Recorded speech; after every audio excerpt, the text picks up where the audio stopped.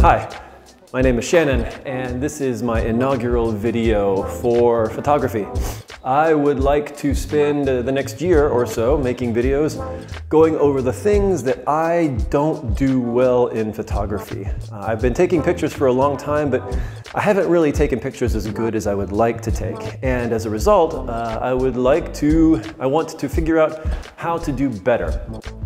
And since I know that there are people out there who uh, feel the same way, that must feel the same way, I want to do that with you guys online. So I will experiment, I will find a problem every week and I will try to find a solution to that problem and uh, I'll post it all together at the same time, the question and the answer.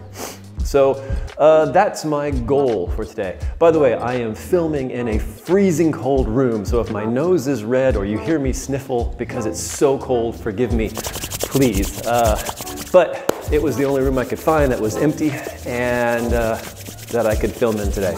Let's go ahead and get started. The first thing I would like to talk about is manual focus photography. I've been taking pictures for a long time, ever since uh, high school photography class, where I was shooting with a manual camera, manual lens, and uh, black and white photography. And I've been doing manual focus on and off uh, ever since then. But once I got autofocus lenses, I use those more and more often, but uh, I've never stopped using manual lenses. However, I don't use them as well as I would like to use them. And uh, what I would like to try to do with you guys is find out some techniques for better manual focusing because I never get photos as good as I like them to be. For example, this.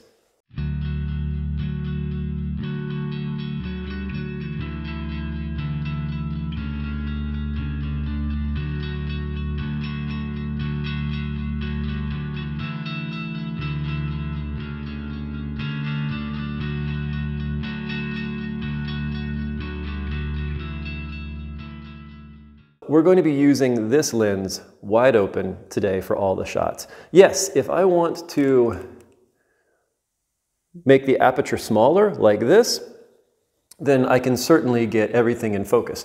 That's not really the challenge. The challenge is having everything in focus when the lens is like this, wide open. What I'm going to do is I'm going to go outside today and take some photos, and I'm going to try a few different things.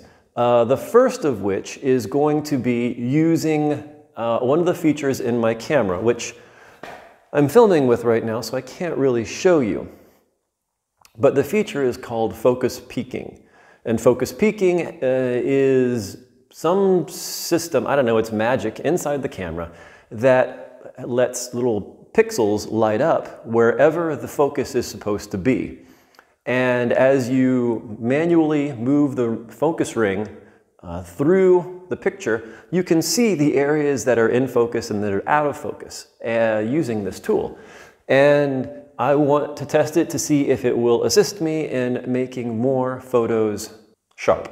Uh, the second thing we will try is just a faster shutter speed. Uh, this should get rid of all of the uh, motion blur that's associated with out of focus photos. I guess I should mention now, there are a couple of things that make focusing hard when you're doing manual focus. Uh, one is you shaking the camera. And that's hard to deal with. Cameras with stabilization do this better, but um, I don't have one of those. On the other hand, there is motion that comes from people moving in the scene, and that is something that I can do about, maybe, with a faster shutter speed. Trick number three will be breathing. Now, breathing is something we all do all the time. It, well, not when you're drinking. The way you breathe as you press the trigger can make a difference. You can move the camera around just a little bit as you press the shutter and I want to avoid that if possible. I'm going to breathe as though I were shooting a rifle. I'm going to breathe out slowly uh, And then right towards the end of the breath, I'm going to pull the trigger. Hopefully, that will allow me to get a smoother shot. Another thing I'm going to try today is taking more photos. Law of odds says that the more photos you take, the more chance you have of getting a good shot. And so I think I will go out and try to take a whole bunch of shots of one thing and see what I come up with. Another thing I'm going to try is zooming into the image. If I zoom into the image digitally uh, using the camera's feature, it should help me get closer to the subject and I can see whether or not my image is in focus. Uh, I don't know whether or not the digital screen will be sharp enough for me to get a good shot, but we will give it a try and see. Two things that I will not be trying today are a timer and a tripod.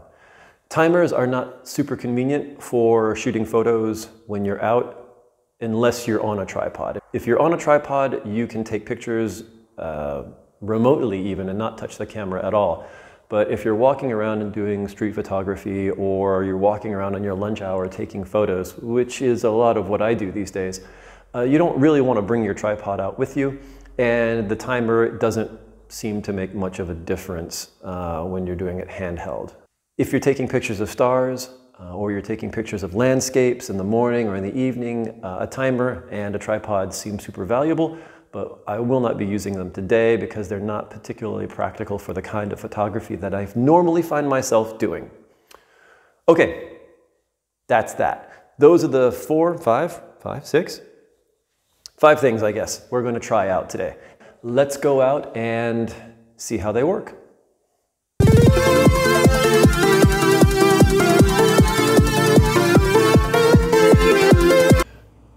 Let's take a look now at the photos I took during lunch, starting with the peaking shots. This doesn't look terribly in focus. That doesn't either. I tried to focus on this one at this spot, and the letters are legible, but everything seems a little bit blurry. On this particular image, everything seems to be blurry. The background looks nice, but it's supposed to be blurry.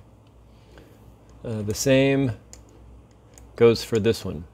And this is using only peaking. I tried to focus on this part right here. And it's not terribly bad, but you get a little bit of blurriness around everything. That one's not so bad. That's not too bad. Oh, here's another peaking one. I feel that I could have gotten this one sharper, looking at it now, if I had been able to zoom in. But for only peaking, it's not terrible. All right, now we're switching over to zoom. And this is where I just try to zoom in. And I tried to zoom into this location here. That's not too bad. How about this one? This one looks pretty good. This is not bad. Zooming in, yeah, okay. it's not very sharp. This is the part that I focused on, and it's not very sharp. I took a second shot. It's about the same, but it's a pretty picture. Okay, now this is a moving target using just the zoom. So I don't have high hopes for this one. Having said that, the characters on the screen, the Chinese characters look okay, and the Korean characters look okay. And to be honest, the little old lady looks all right too. Well, not bad. All right, let's take a look now at the multiple shots. On all of them, I tried to focus on this mirror, and you can even see me right there, which is great. But let's see if the focus looks good. This focus looks all right. This looks on, this one looks okay. This looks okay. This one looks a little better.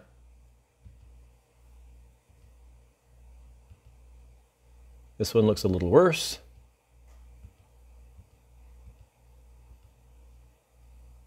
Actually, they all look pretty close, don't they? Huh. Okay, let's take a look at this temple now. The full image looks like this. And it looks pretty sharp until you go in closely. Then we can see here the Chinese characters are not terribly sharp. They don't look bad, uh, especially considering that they're not very large in the picture itself, but not terribly sharp, since this was actually what I was focusing on. That one's worse, worse, worse, really bad, still bad, bad, bad, bad, bad, bad, bad, bad, bad. Outside the first shot that I took, none of these look particularly good. Uh, in this next shot, which is this, again, I tried to focus on the very center, which would be right about here. And you don't see a whole lot of sharpness anywhere, do you?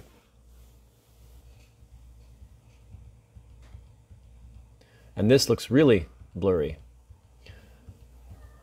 I think it's fair to say that the farther away you are from an image, the more likely you are to have focus problems. Let's move on to breathing. This is where I breathed out during the shot and took the shots toward the end of the breath. And as you can see, the results seem all right. I don't know how much we can attribute to the breathing, but it didn't hurt to do it this way. I will say, however, when you try to take multiple shots, uh, the breathing does not help because you're breathing out and then you start to breathe back in during the shots, and so you end up having a problem with that. These don't look bad, but they don't look all that great either.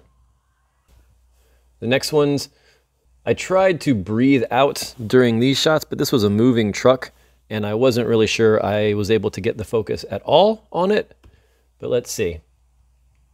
That's actually not bad considering it was moving and I'm at 1.7 and it's far away.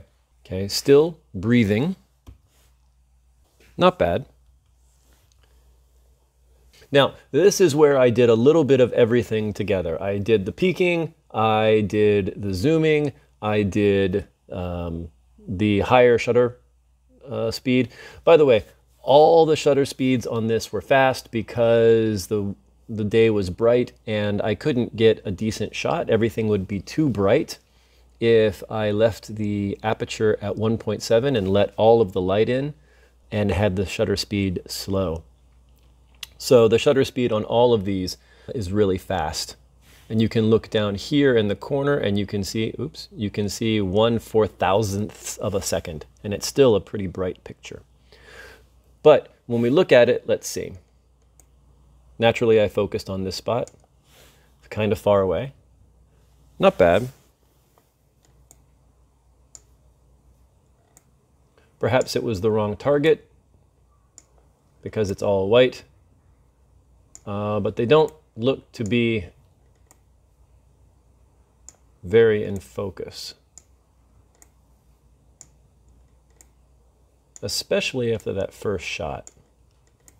Uh, the next set is also a combination, and I tried to make focused this area, which doesn't look focused, really. It's not bad. But again, can you see the purple halo around the grass and the bush? That's not supposed to be there. These don't look bad, but they don't look very sharp either. Uh, and then another set of combined. There's a lot of detail in this bush, so we should be able to see if it's in focus or not. It's not bad, though what I want to do is to make my photos look like all the photos you see on the internet. Amazing and beautiful and perfect. These images are not those.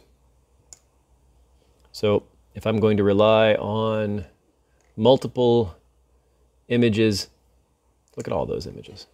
All right, you know what? I guess I should keep going since the whole point was to see if 1 in a 100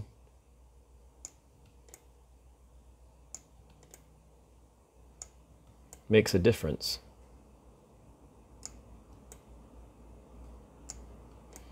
I don't know, guys. What do you think?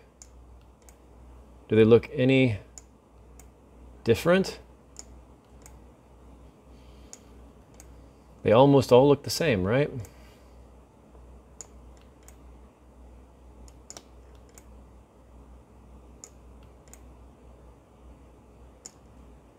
Hmm. From what I can tell, peaking seems to be effective. Peaking helped me to get in focus shots. And I wasn't even zooming in. When I zoomed in, I got in focus shots as well. I think if I were to combine peaking with zooming, I would have a pretty good combination for making shots look nice, look sharp. Breathing, uh, I'm a little bit more on the fence about. Uh, breathing, I think, would help with the camera not moving while you're pressing the shutter, but I had such high shutter speeds that it didn't really make a difference, I think. So because it was such a bright day, I was shooting at one four thousandth of a second. So it wasn't really helpful to have me breathe in a specific way. Not that I could tell. So I might have to test that under different circumstances to see how that would uh, affect the image. Uh, and then the idea of taking multiple shots, uh, it didn't seem to help me the way I was doing it. It seemed that the first shot came out well, and then the ones after that didn't. Perhaps if the shot were moving more and I were changing focus as the object was moving, that would make a difference. But as it turned out, it didn't seem to make much of a difference to me in shooting yesterday. So, there we go. That's that. Anyway, uh, for the like and the subscribe thing, I didn't get the likes idea when I was a viewer watching it, but now that I've made this first video, I think I get it a little bit more. It's kind of like a, a way of encouraging people. Uh, those people who are making a video like I am and uh, don't know uh, how they're doing or how they did. And uh, a little bit of encouragement I think would be fantastic. So if you want to encourage me, if you did actually like the video, please like it.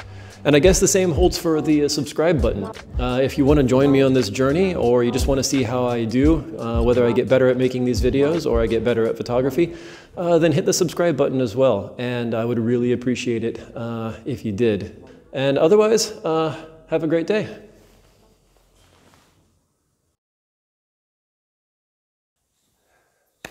Oh, this room is so cold. This is so stupid. Let's go out and give it a shot. Let's try that again.